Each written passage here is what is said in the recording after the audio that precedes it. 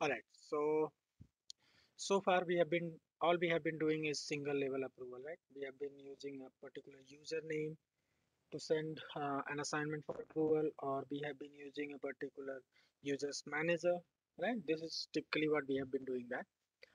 So now we are going to basically talk about multi-level or multi-layer approval okay so you might have often uh, you will often find a situation where more than one person has to approve and often this is going to be dynamic. So typical situation is just like your leave right? Your leave usually goes to um, your manager and that's just a single level approval. But if you go for a reimbursement usually depending upon the amount more than one people approve. Now you can configure that in a single level as well. You just need to have more than one um, step right? And uh, more than one shape or step for the approval and assign them to individual users. You can still manage them dynamically but that's not the better way. Ideally we should have just one approval shape only one approval shape. And uh, we have another type of approval that is that we call um, cascading approval. That's where we configure multi-level approval or multi-layer approval so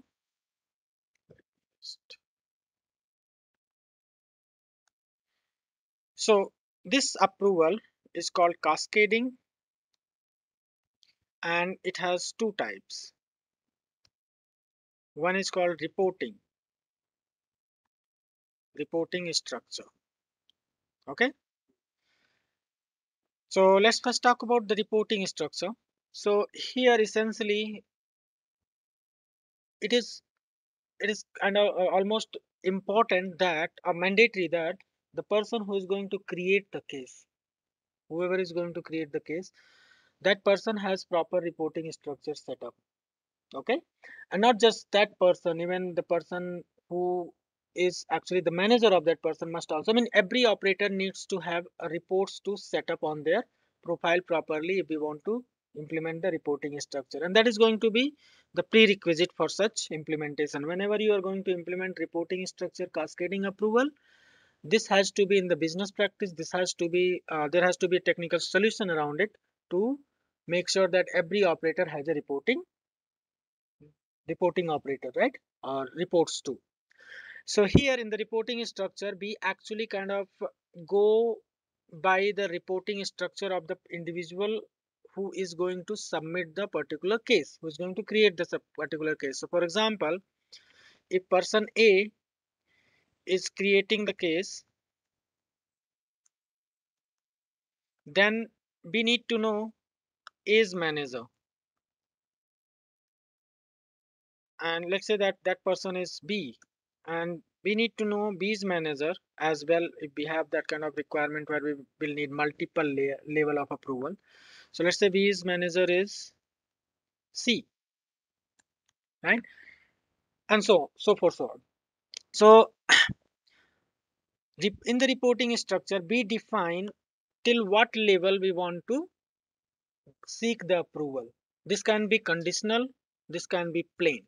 Let's talk about the plain. We, are simply going to ask for one, two level or three level of approval. Okay.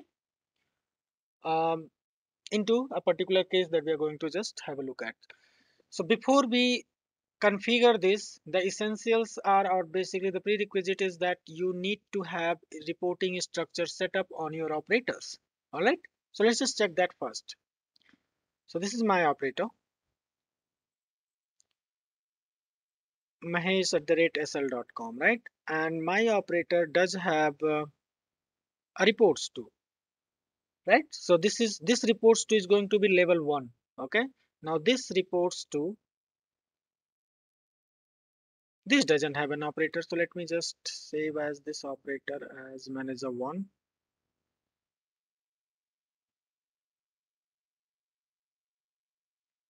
create and open.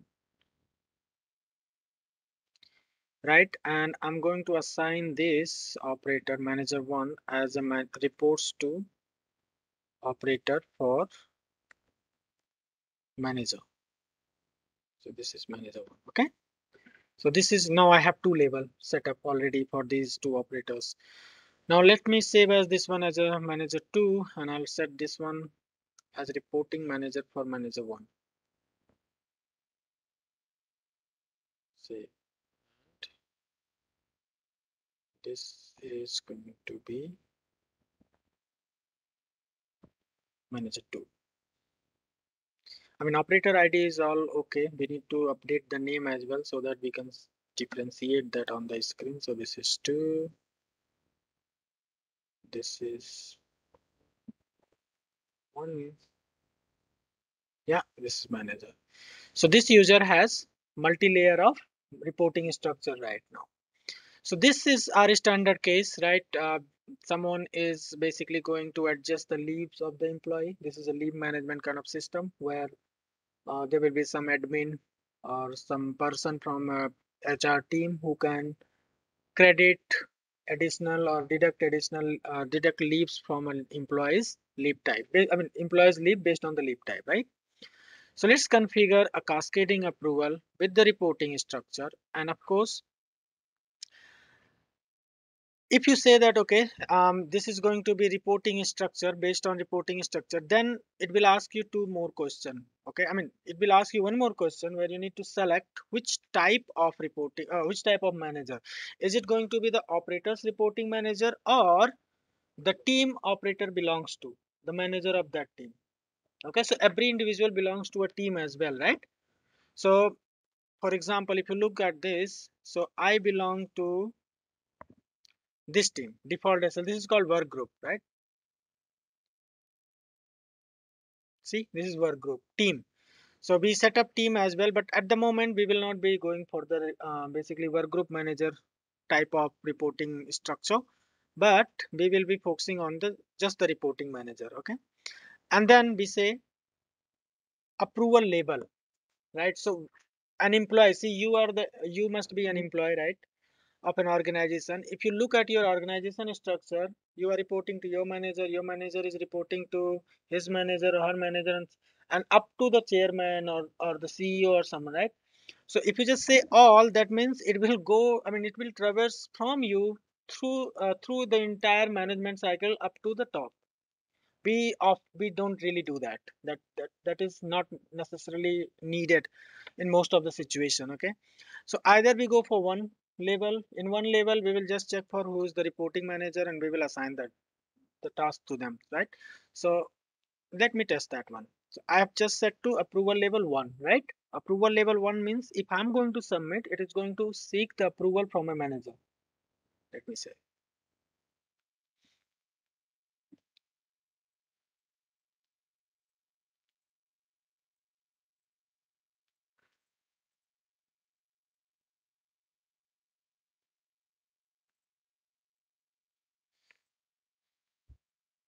So see, this has been assigned to manager, my manager, Mahesh MGR. You see that, right? So if I go there and approve, I mean, I am admin, so I can approve on the behalf of manager. So this is done. The approval is done, right? There's no further approval required. Now if I go back here and change that to custom level. So update custom level and I can set level of approval 2 or 3 let's say 2 and like I mentioned we can conditionally set level of approval okay? So here I can say that if the adjustment the adjustment that we're doing on the form if that adjustment value is less than 3 okay? If that is less than 3 then we will have two level otherwise we will have four level. So when adjustment less than 3 okay? Let me create and open this one rule.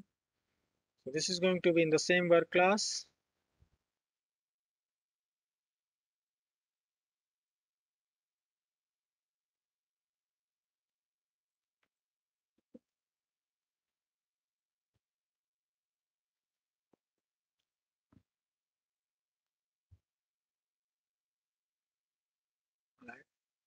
uh, let me just go to the advanced flow.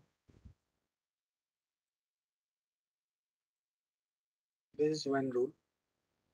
So here we have leave adjustment. If it is less than or equal to 3 okay then this when rule be return true. So let me go back to this. Now update. So this is now created okay?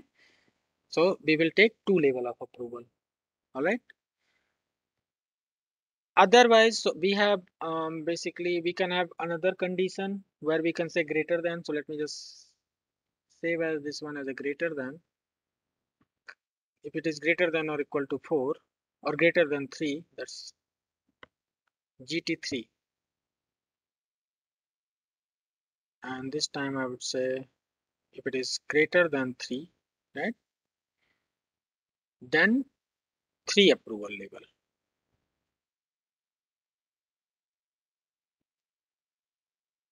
2 and 3 okay good. Save it. So i'm going to create one case where i'm going to ask for adjustment um, adjustment for two leaves only okay so that will fall in the first category right? So we should ideally get two level of approval request. Application casual is quite a lot. So two or three both will basically fall in the same category. Right. So this is assigned to my manager at the moment. That is level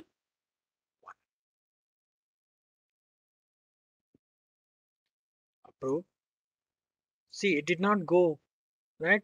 We have configured just one shape right? This is this will keep repeating until we have fulfilled those conditions. So it did not uh, basically move forward and it's waiting for approval by manager one who is the manager of manager right?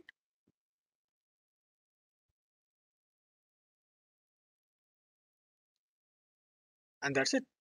We got two level of approval right now let me create one more case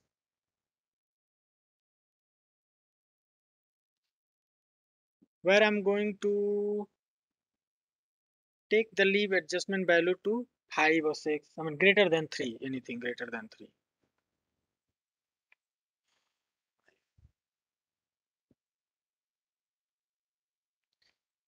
So this time, this is manager level 1, I mean this is level 1.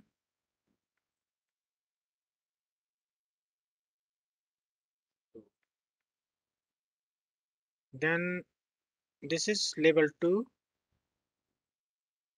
up to level 3 right? So see you have one single configuration. You have provided uh, you have put in your logic okay? You have put in your logic. It's dynamically the pega is dynamically determining how many approval to be sought based on the configuration that you have done and with whom? Based on the operator who is creating the case okay? If i log in through the mgr1 then it will start from the manager of mgr1 okay? Whoever creates that case okay?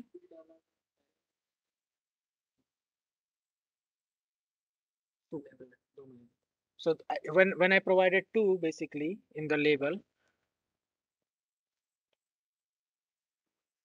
so this is label okay and this when condition is evaluating if it is less than or equal to 3 so if you provide uh, basically the adjustment value which is either 3 or less it's gonna ask for two level of approval. My, that will be my manager and my manager's manager. That will be level 2 my manager's approval is level 1 or the person who is submitting the case the that is level 1 the manager of that person is level 1 and then level 2 means the manager's manager. No there will be two. So let me show you. Right.